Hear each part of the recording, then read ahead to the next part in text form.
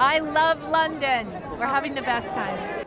It's nice to be able to celebrate after such a long time away. Do you know what? This is more exciting than most movies red carpet because you know you don't get people dressed this amazingly for most movies. It's just incredible.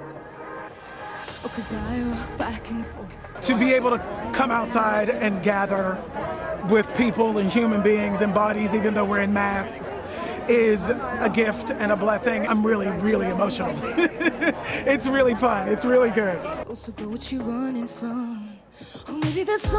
It really is a unique event that gathers the international fashion industry in London, the centre of creativity and innovation.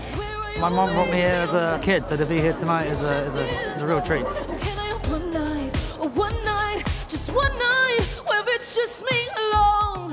It's nice to see a bunch of people looking fabulous and uh, doing a little bit more than just getting by. Or is it the gods just trying to tell me to move on? I'm here tonight wearing Vivienne Westwood and I'm absolutely delighted.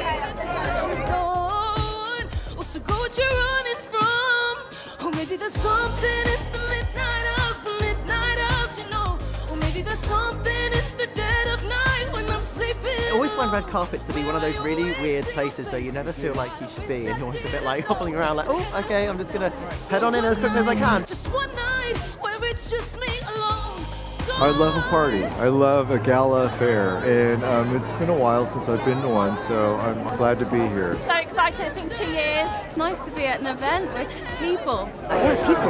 Fashion. Fashion is about your identity, it's about who you are, it's a form of expression, it's about fun. I rock back and forth, reciting words that I've said wrong.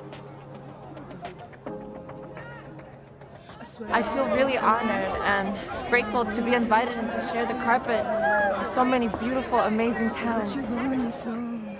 Or maybe there's something in the It's the most special event uh, for me in my in the calendar in the world.